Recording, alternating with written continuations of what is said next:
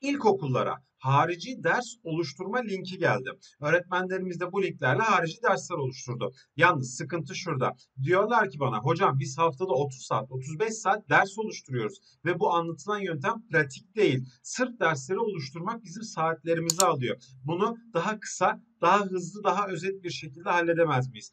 En kısa şekliyle, pratik bir şekilde nasıl ders oluşturabilir? Bugünkü videomuz bu. O zaman hadi harici derse.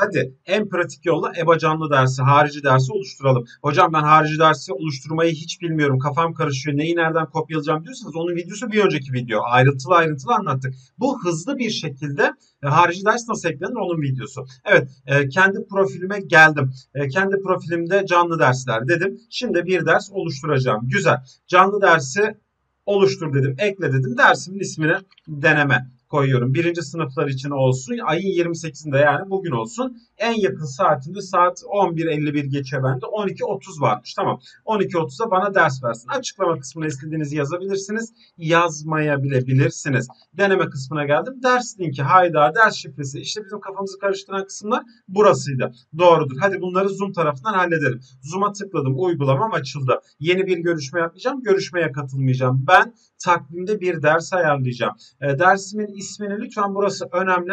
E, diğer tarafla aynı yapın yoksa hangi dersin hangi ders olduğunu e, karıştırırsınız. Dersin ismini deneme koydum. Tarihimiz gene aynı. Bizim saatimiz 12.30'du. 12.30'u burada bulamadım varsayalım ki gördüm orada 12.30'u. Saati arkadaşlar buradan değiştirebiliyoruz. Bu kısım önemli. Neden söylüyorum? Çünkü EBA'daki saatler birebir burayla örtüşmüyor. Oradaki saat hangisi ise gelip buraya tıklayıp üzerine yazabilirsiniz. Yani bu saati küsüratlı bir şey de yapabilirsiniz. Şu anda 33 yaptım. Neyse devam ediyorum. Ee, bakın dananın koyununun koptuğu yer burası e, otomatik olarak her seferinde farklı ID al diyor. Hayır. Benim bir defaya mahsus bu ID'mi al ve hep bunu kullan. Bu benim cep telefon numaram gibi bir şey. Zoom için. Bu numarayı kullan. Şifre ne olsun? 111 dedim. 6 tane 1 yaptım. Bunu kullan değiştirme. Bir daha bir daha uğraşmak istemiyorum. Öğrencileri bekleme salonunda beklet bekletme. Bu sizle alakalı. Nasıl isterseniz karar verebilirsiniz. Evet videolar açık olsun mu değil mi? Ve harici bir e, takvime de işaretleyeyim. işaretle. Sev dedim. İşim bitti. İşim bitti. Copy the clipboard yani buradaki yazıları kopyala. Tamam. Nereye kopyalayayım? Microsoft Office Word'e yapıştırabilirsiniz ya da not defterine yapıştırabilirsiniz. Evet ben not defterini açtım. Kontrol ve bir parmağım kontrole basılıyken diğer parmağımla da V'ye bir defa bastım. İkisini birden çektim. Evet buraya yapıştı. Ee, benim hocalarım bazı arkadaşlarım bazı öğrencilerimiz yanlışlıkla bunun bu iletinin tamamını alıyor. Bakın join zoom kısmını almıyorsunuz. Bir internet adresi bir link http ile başlar. http ile başlayan kısma sağ tıkladım ve kopyala dedim. Şimdi de EBA canlı dersime tekrar dönüyorum. Ders link dediği yer burası.